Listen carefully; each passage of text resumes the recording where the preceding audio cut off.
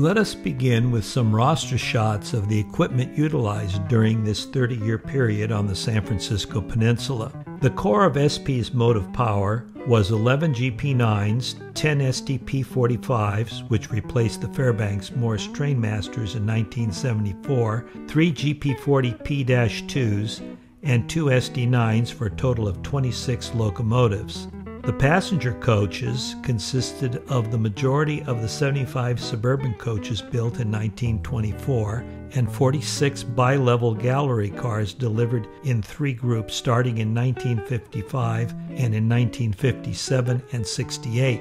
With the delivery of the last new bi levels, all of the remaining 60 foot Harriman coaches were retired, along with some of the suburban coaches. The SP equipment was gradually replaced starting in 1985 with the arrival of the new Caltrans equipment. The suburban coaches were retired and sold, and the bi-levels were transferred to Caltrans. The SP locomotives made a brief reappearance due to problems with the new F40PH-2's brakes. 20 F40PH-2s replaced the SP locomotives in 1985 and three more were added in 1999. From 2002 to 2005, six MP36PH 2Cs were purchased.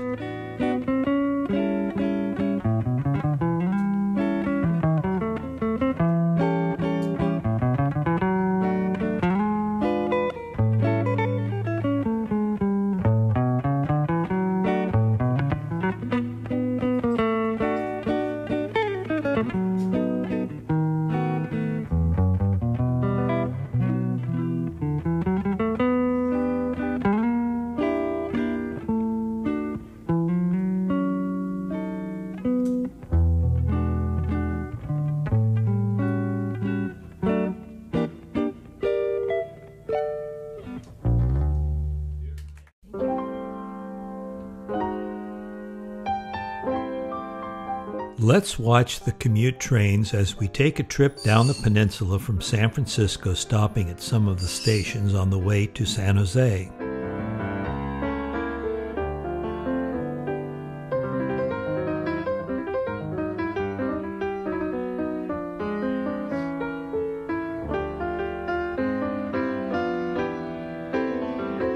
These are the first four pieces of Caltrans equipment delivered and were placed on display in the city.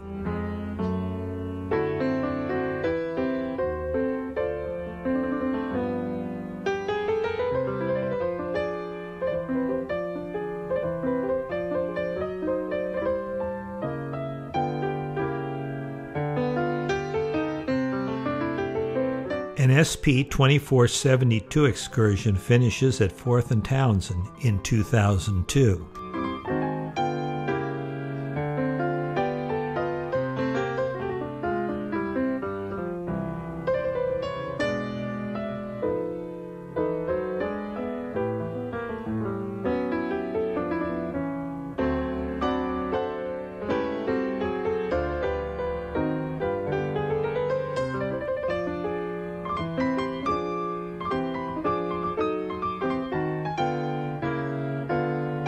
The heart of the commute fleet passes, starting with train 122 and ending with 138.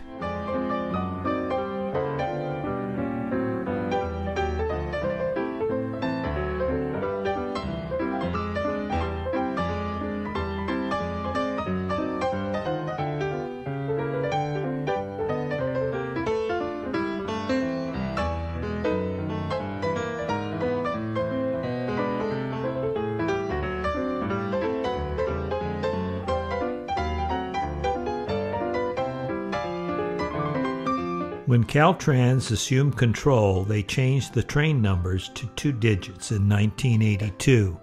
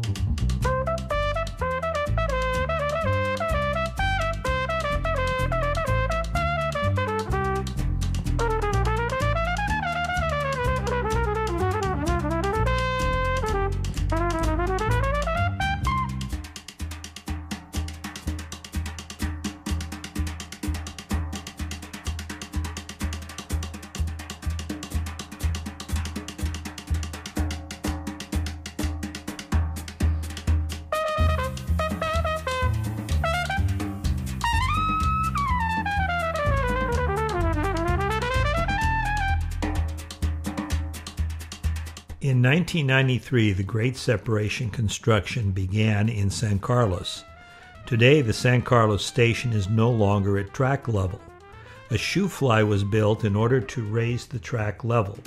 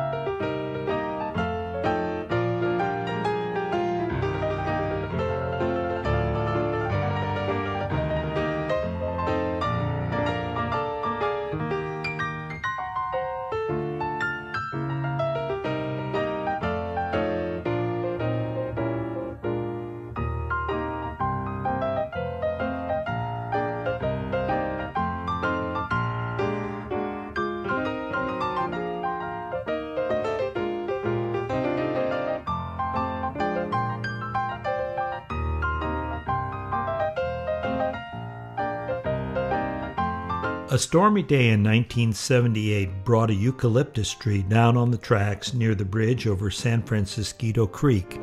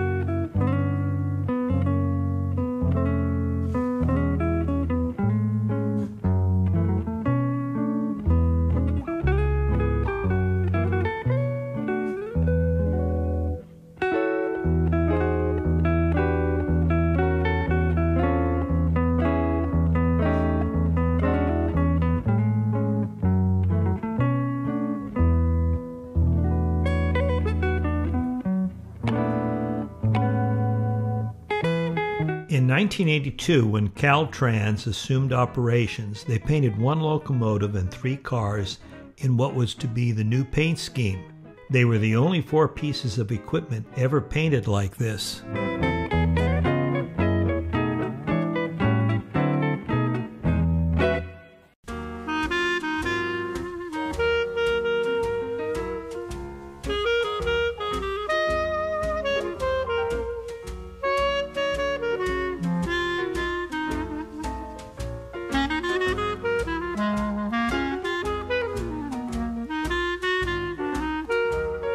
The SP was power short in 1978 and needed the commute locomotives for freight service.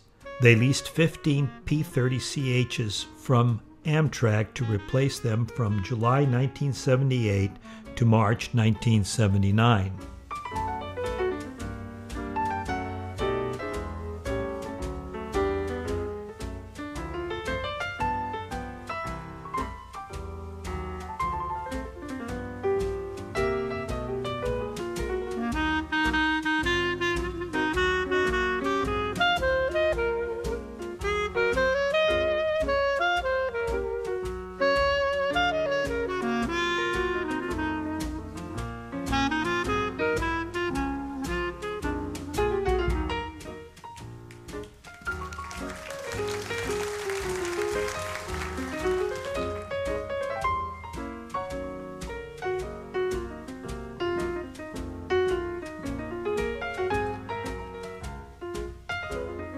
It's not efficient to let locomotives sit around doing nothing on the weekends, so the SP sent some of the fleet out in freight service to places like Roseville and Watsonville Junction. They had to be back late Sunday night for the commute rush Monday morning. Sometimes they would move light engines to Roseville Friday evening, and they could always be found on the RV SJA over Altamont on Saturday and Sunday.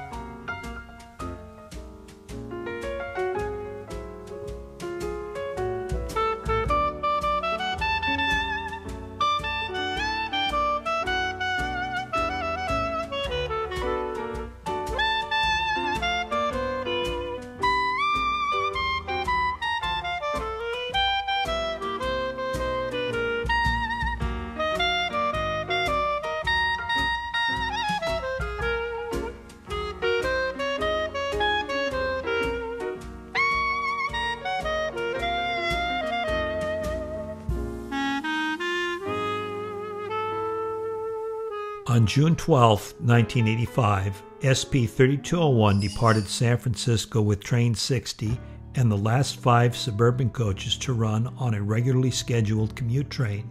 On June 15, there would be an all day two round trip excursion commemorating the end of their service.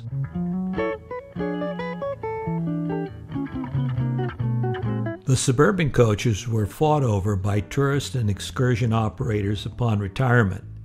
Needless to say, most are still running somewhere or are waiting to be restored. Some have joined the group that was sold in the 60s along with the 60 foot Harriman coaches.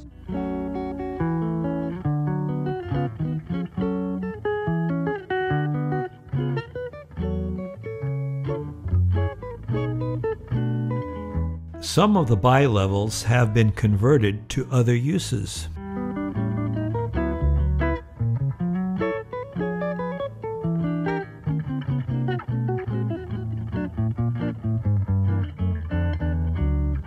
The commute locomotives continued on in freight service. Some found their way into private hands, and the rest went to short lines or were eventually scrapped.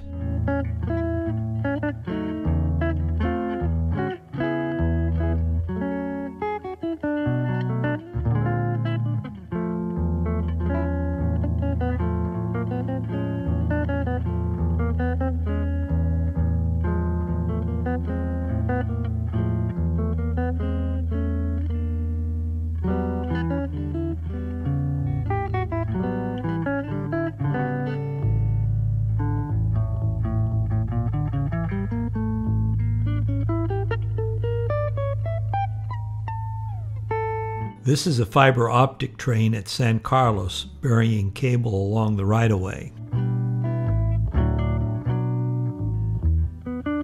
And now 3187 has lost its light package. After the credits, there are links to other related San Francisco Peninsula videos.